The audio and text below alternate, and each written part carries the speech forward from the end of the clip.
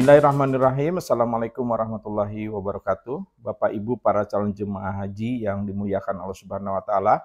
Di video kali ini saya ingin berbagi pengalaman saya selama saya bertugas sebagai petugas kesehatan haji Indonesia. Materi yang akan saya sampaikan kali ini adalah mengenai tip kesehatan selama Bapak Ibu berada di Mina. Baik, kita mulai saja Bapak Ibu para calon jemaah haji rangkaian prosesi ibadah haji mulai dari Arafah, kemudian menuju Muzdalifah, kemudian akan diberangkatkan ke Mina. Nah, di Mina ini kegiatan yang akan dilakukan oleh para ibu bapak calon jemaah haji adalah melempar jumrah. Berapa lama tinggal di Mina? Bapak Ibu calon jemaah haji untuk prosesi ibadah haji di tahun 2024 ini wukuf akan jatuh pada tanggal 15 Juni 2024, tepatnya di hari Sabtu. Kemudian eh, Bapak Ibu akan diberangkatkan ke Muzdalifah juga di tanggal yang sama, yaitu di tanggal 15 Juni 2024. Kemudian lewat tengah malam, Bapak Ibu akan diberangkatkan dari Muzdalifah menuju ke Mina. Di Mina itu akan jatuh pada tanggal 16 Juni 2024. Berapa lama Bapak Ibu akan tinggal di Mina, kalau Bapak Ibu calon jemaah haji mengambil napar awal, Bapak Ibu akan tinggal di Mina selama tiga hari, yaitu tanggal 16, 17, dan 18. Sedangkan kalau Bapak Ibu calon jemaah haji mengambil napar Sani, itu akan tinggal selama empat hari, ya, dari tanggal 16, 17, 18, dan 19. Kemudian setelah itu akan kembali ke Mekah. Nah, Bapak Ibu para calon jemaah haji, kegiatan yang akan dilakukan oleh Bapak Ibu calon jemaah haji selama di Mina adalah melempar jumrah. Kalau lokasi tenda Mina Bapak Ibu berada di Mina Jadid, itu jaraknya cukup lumayan jauh. Satu jalan dari tenda ke Zamarot itu sekitar 7 km. 7 km. Jadi kalau bolak-balik itu sekitar 14 km. Nah, tentunya hal ini perlu kekuatan fisik yang prima. Nah, Bapak Ibu para calon jemaah haji, bagi Bapak Ibu calon jemaah haji yang mempunyai keterbatasan fisik, baik itu karena sakit ataupun lansia, maka untuk prosesi lempar jumrah itu bisa dibadalkan atau bisa digantikan. Nah, silahkan hal ini dikoordinasikan dengan pembimbing ibadah Bapak Ibu para calon jemaah haji. Jadi bisa dibadalkan. Sebaiknya itu dibadalkan saja. Kemudian tips lagi bahwa untuk keselamatan Bapak Ibu patuhi jadwal melempar. Ini penting jadi jadwal melempar untuk jemaah haji Indonesia itu sudah tertera jam-jamnya dan itu harus dipatuhi. Karena apa? Semuanya ini dilakukan demi keselamatan Bapak Ibu para calon jemaah haji. Kemudian yang lainnya, kondisi alam di Saudi Arabia, di Mina, suhu bisa mencapai lebih dari 40 derajat Celcius, sehingga hal ini bisa menimbulkan resiko kesehatan. Salah satunya adalah dehidrasi, kemudian sengatan panas, dan yang lainnya terjadi eksaserbasi penyakit yang akut menjadi yang kronis menjadi akut. Dan ini perlu kiranya diantisipasi. Bagaimana caranya untuk mengantisipasi hal tersebut? Maka Bapak Ibu para calon jemaah haji diharuskan, ini diharuskan untuk minum satu gelas per jam atau 200 mili per jam. Jangan menunggu haus, ini penting.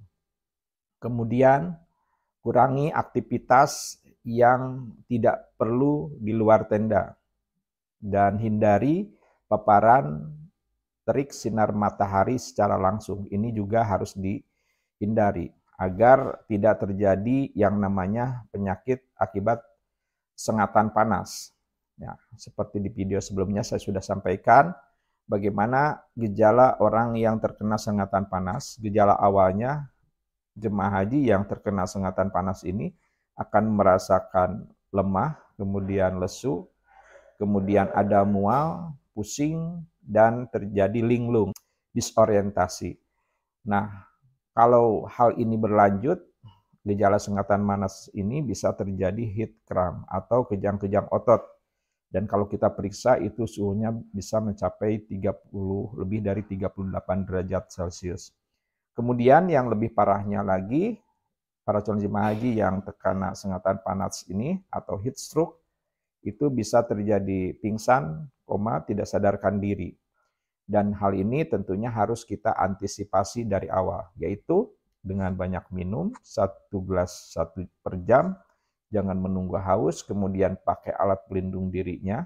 Nah, untuk terkait dengan alat pelindung diri tentunya hal ini setelah lepas kain ikhram ya, itu kayak setelah lepas kain ikhram, setelah uh, tahalul awal, kayak topi, kacamata, kemudian semprotan air, kemudian tumbler untuk minum, kemudian uh, alas kaki, itu harus Bapak Ibu uh, gunakan selama Bapak Ibu bepergian untuk melakukan aktivitas di Mina, salah satunya dengan melempar jamarot ini.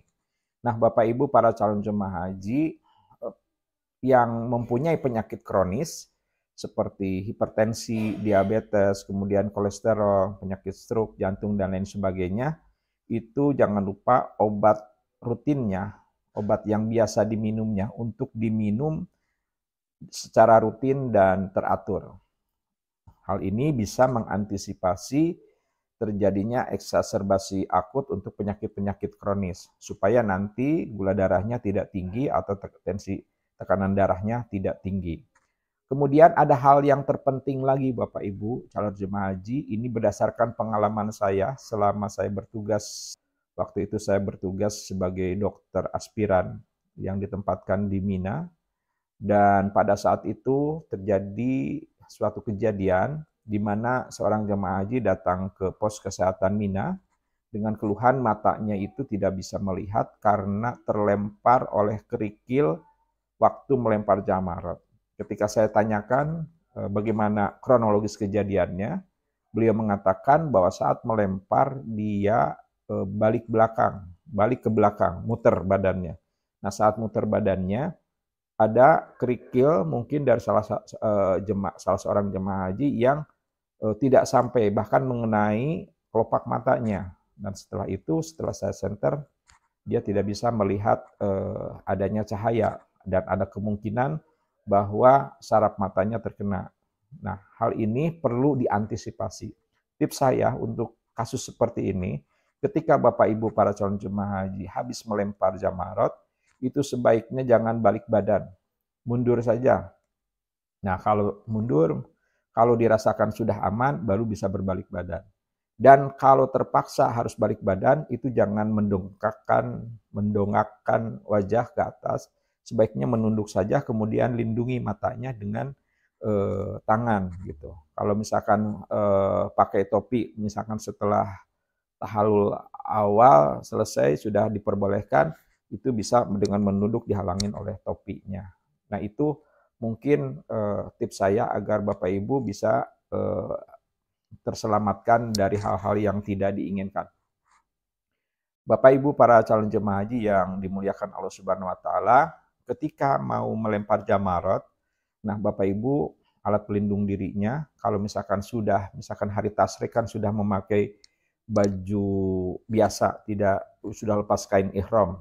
Setelah lempar jamarot akobah tanggal 16 itu tahun awal, nah itu sudah bisa memakai baju pakaian biasa. Nah, ketika akan melempar jamarot, pakai alat pelindung dirinya.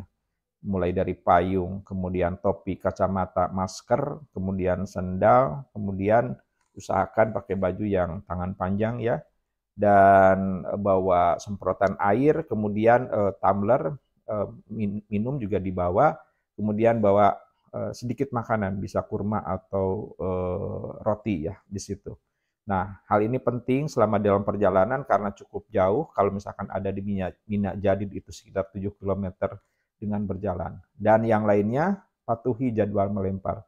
Jangan sampai kejadian-kejadian eh, yang dulu di terowongan Mina atau di yang bertabrakan di Mina itu tidak terjadi lagi. Dan hal ini mungkin sudah diperhitungkan sedemikian rupa oleh pemerintah Arab Saudi dengan menjadwalkan waktu melempar untuk para jalan jemaah haji di seluruh dunia ini.